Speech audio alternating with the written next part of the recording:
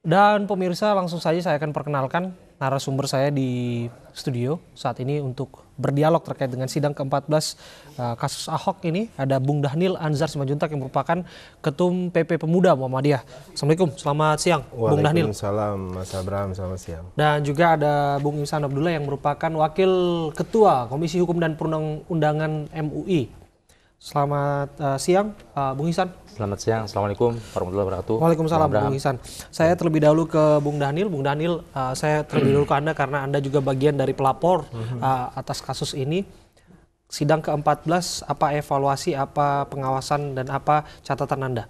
Iya, yang menarik uh, panjang ini kita anggap memang uh, hakim masih apa ya, masih tidak apa, tidak banyak berubah seperti proses-proses uh, sidang sebelumnya. Jadi mudah-mudahan bisa dijaga terus konsistensi sidang seperti ini. Mm. Kemudian kedua mena menariknya hari ini kan kembali hakim menolak uh, saksi ya, saksi mm. ahli yang diajukan oleh uh, penasihat hukum Ahok ya, karena uh, harusnya tahapannya kan mulai dari saksi fakta Betul. dan sebagainya, tapi kemudian ditolak. Saya tidak tahu apa motif yang hmm. di, uh, dilakukan oleh Baik. tim penasihat hukum Ahok dengan menyampaikan saksi ahli terlebih dahulu, Baik. tapi berangkat dari situ saya kami uh, menangkap pesan seolah uh, seperti biasa Baik. Ahok ingin menggunakan uh, forum persidangan ini sebagai forum uh, akrobat kampanye dan akrobat Baik. hukum ya. Sebelum itu, soal itu akrobat yang kita lihat. Bung Daniel, hmm. yang terbaru yang kami dapatkan laporan terkini dari rekan kami di sana adalah bahwa usai uh, jeda nanti hmm. akan ada waktu yang diberikan kepada ahli hmm. uh, yang pada akhirnya nanti akan bersaksi hmm. karena uh, untuk mempercepat proses persidangan. Hmm. Itu yang paling baru update-nya dari sana. Hmm. Dan kemudian mengapa Anda menyebutkan bahwa uh, ini ada indikasi akrobat kampanye daripada Basuki Cahayapurnama di tengah sidang yang sebetulnya tertutup hmm. dan jauh dari sorot media secara hmm. uh, terang benderang? Ya seperti biasa kan misalnya uh, setelah apa setelah sidang itu kan keluar banyak statement ya. Betul. Kemudian biasa kan tuduhan uh, justru sebelumnya kemarin misalnya terhadap saksi-saksi yang diajukan oleh uh, apa uh, uh, jaksa itu uh -huh. kan rata-rata juga kemudian uh, penasihat hukum melakukan demoralisasi dan delegitimasi terhadap uh, semua saksi ya. Uh -huh. Nah, sehari ini uh, yang dilakukan juga kemudian mengedepankan saksi ahli yang dipastikan semuanya ber, uh, adalah pihak-pihak yang akan uh, meringankan, pihak meringankan mereka walaupun itu uh, adalah wajar ya hmm. dari sisi itu tapi kemudian kan yang dikedepankan itu dulu nih nanti saksi faktanya belakangan karena men, apa mengejar uh, momentum jelang jelang tanggal 19 Februari eh, maaf 19 Maret 19 ya. April, April, April nanti April. untuk pilkada putaran kedua saya ke Bung Ibsan. Ya. Bung Ihsan, uh, jika kita mendengarkan apa catatan dari Bung Daniel tadi terkait dengan 14 sidang yang sudah dilalui, saya pikir yang paling punya sikap dari awal adalah MUI karena sudah ada pandangan keagamaan dan sikap ya. yang sudah di, dikeluarkan soal kasus ini. Ya. Apa sebetulnya yang dilakukan MUI, entah itu pengawasan, entah itu uh, evaluasikah untuk tetap uh, mengawasi dan mengendalikan jalannya persidangan ini?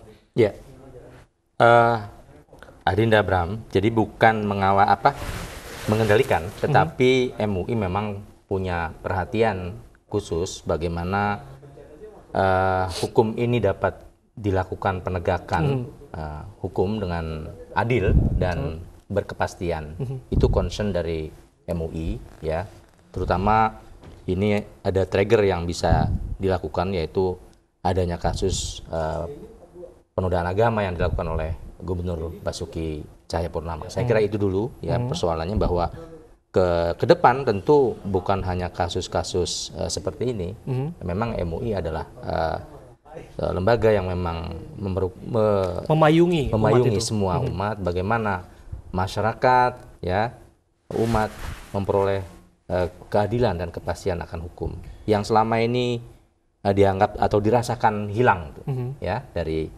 uh, terserabut dari masyarakat kita. Dan kalau kita coba lihat uh, amati pada hari ini yang terjadi dalam persidangan, apa yang disampaikan Adida Daniel itu benar. Jadi seakan ini jadi media campaign untuk Pak Basuki. Jadi peradilan ini dijadikan media campaign karena apa? Saksi yang diajukan hari ini ya kalau kita lihat Ada Dari- tiga orang saksi ada, fakta, iya, betul. ada Zuhri, Kita, ada Zuhri yang Ferry, merupakan mantan Suyanto, ketua iya. Panwaslu Fajrun. Kabupaten Belitung, Fajrun Hmm, merupakan ya. teman SD beliau, Ya. kemudian uh, yang terakhir Anda sebutkan tadi yang di tengah itu adalah sopir dari beliau. sopir dari beliau. Itu semua dari Babel. Nah, sedangkan kalau di dalam undang-undang kita KUHAP ya, yang dimaksud dengan saksi adalah mereka yang mendengar, melihat dan merasakan apa yang terjadi di Babel. Apa? Di Kepulauan, Di Kepulauan Seribu. Seribu. Kan ini fakta atau peristiwanya ada di Pulau Seribu. Lokus tempus delicti. Ya, oke lah dikembangkan dengan Baik. eh, apa namanya keputusan Mahkamah Konstitusi bahwa kita mendengar saja dengan YouTube dengan video itu bisa jadi saksi. Tetapi apakah yang disampaikan itu seolah-olah menjadi analog ya? Jadi apa yang ada di yang terjadi di Belitung tahun 2007 itu sama dengan di eh, Kepulauan Seribu. Padahal di dalam eh, kasus pidana ya dalam hukum pidana itu tidak, tidak dibenarkan adanya analog analog seperti itu. Nah, Baik. oleh karenanya apa yang disampaikan Adinda Daniel tadi nggak berlebihan saya kira bahwa itu jadi seakan jadi media campaign ini ya. Apa yang dicapai ya itu tidak ada karena apa? Pertama, kalau kita lihat yang dimaksud dengan tadi disampaikan Adinda ini ak- akrobat politik benar, harusnya kalau yang namanya hukum acara itu tertib. Mhm. Saksi diperiksa terlebih dahulu, saksi ada charge ya yang meringankan. Iya. Barulah saksi ahli. Nah ini kan tiba-tiba diajukan saksi eh, ahli ya, Profesor Dr. eh, Umar Syarif Hiraez itu, ya otomatis kan ditolak. Nah kemudian kalau kita lihat ini banyak ada beberapa nih yang saksi yang di luar BAP, di luar berkas pemeriksaan perkara saat di eh, penyidikan. Nah, saya kira ini juga menjadi persoalan. Jadi ini menggambarkan betapa satu pengacara Pak Basuki dan Pak Basuki sendiri ini amat sulit untuk menghadirkan orang-orang yang bisa membantu beliau ya bersaksi ya Soal apa yang terjadi di untuk Kepulauan Seribu? meringankan soal apa yang terjadi di Kepulauan Seribu. saya catat Nah, itu. bukankah ada Bambang Waluyo yang waktu itu juga ada Ah, hadir dengan kemarin sekali lagi Bambang Waluyo itu di persidangan betul, ke-13. Betul, itu satu-satunya yang kemarin diajukan, yang harusnya tiga, dan itu bukan saksi yang dalam berkas perkara, Tidak di BAP. tidak BAP. Jadi seakan-akan wah ini menguntungkan, kita ambil kita tempatkan sebagai saksi. Padahal dalam hukum acara ru- runtut rujuk. Jadi saksi-saksi ini adalah saksi-saksi yang mengikuti proses pemeriksaan sejak di pemeriksaan eh, apa namanya eh, kepolisian di BAP sampai pelimpahan ke kejaksaan. Nah kalau nanti dirasakan perlu tambahan saksi-saksi, apakah saksi atau ahli, bolehlah. Itu pun dengan catatan harus mendapatkan persetujuan dari majelis hakim yang mulia dan tidak ada penolakan dari jaksa. Nah ini yang harusnya dilakukan dan saya kira makfum mereka itu pengacara itu ya. Tapi mengapa tidak memberikan tuntunan, tidak memberikan edukasi, tidak memberikan pemahaman Oke. kepada masyarakat itu penting loh. Peradilan ini ditonton oleh masyarakat luas. Jadi hendaknya kita semua yuris ya, ahli hukum, pengacara, jaksa apalagi majelis hakim tentu harus memberikan guidance bagaimana peradilan yang baik sesuai KUHAP. Ini yang harus disuguhkan. Nah, sehingga masyarakat memahami makfum. Oh iya kalau beracara di persidangan pidana itu seperti ini. Kan begitu kira-kira. Baik, Uh, jika kemudian kita merujuk kembali tentang pasal yang didakwakan terhadap Basuki Cahayapurnama, entah itu 156A dan juga alternatif sa- 156 itu Ya. kemudian uh, ada yang menilai bahwa pentingnya diverifikasi uh, unsur kesengajaan, intensi dari Pak Basuki Ya. sehingga apa yang terjadi di Belitung dibawa-bawa ke Ya. sini, dibawa-bawa dalam persidangan begitu. Konstruksi hukumnya sebetulnya seperti apa Ya. uh, layaknya uh, dalam kasus ini? Anda juga saya paham betul bahwa Ya. merupakan uh, seorang uh, uh, pengamat hukum. Iya. Iya.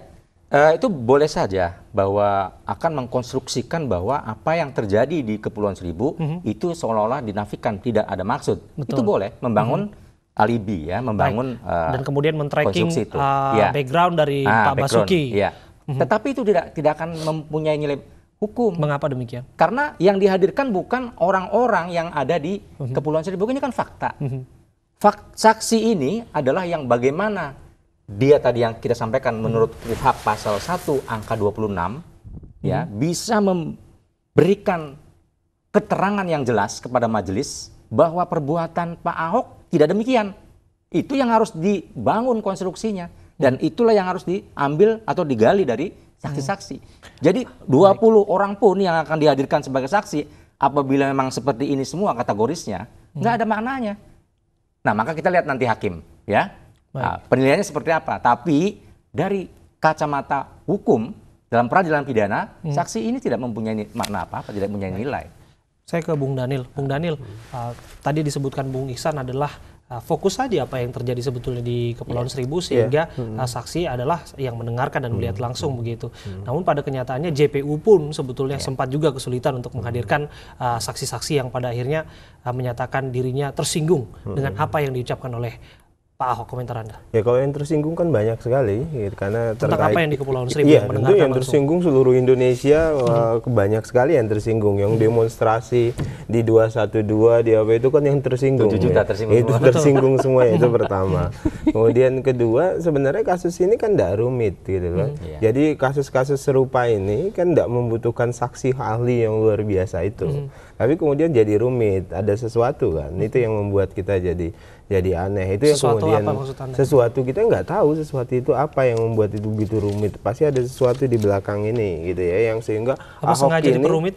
Bisa jadi sengaja diperumit karena ada sesuatu itu begitu. Ada faktor X itu yang yang kemudian bisa jadi melindungi Ahok bisa jadi kemudian menjadi kekuatan yang luar biasa di Republik ini sehingga hukum pun itu menjadi complicated untuk sesuatu yang mudah gitu ya. Ini ini yang terjadi.